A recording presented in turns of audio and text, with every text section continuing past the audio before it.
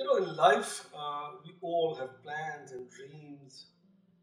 And uh, uh, I, as a young man, had my own dreams, and my plans. So always dreamt that once I do my inter, I will go to USA. Uh, my brothers before me, uh, they went to USA. So I was also had the same dream and a plan. But to my surprise, once I did my inter in science, I got this letter from my father, and the letter says that I've got a scholarship in Romania for petroleum engineering. And I just said to my father, No, I don't want to go to Romania. I want to go to USA. I want to go to America like my other brothers.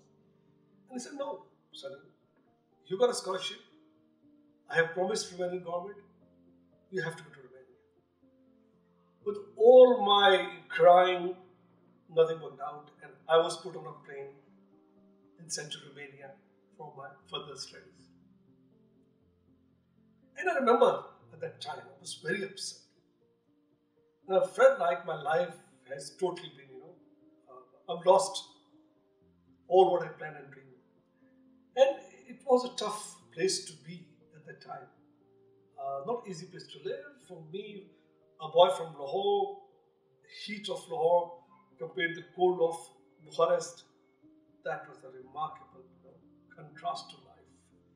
Anyway, I look back and where I am today is because of the decision of my father that I went to Romania. That really changed my life. And uh, I believe that I became strong. I, become a survivor. I, I survived that time in Romania. Uh, whether it was the weather or itself the, the way I survived, the way I lived there.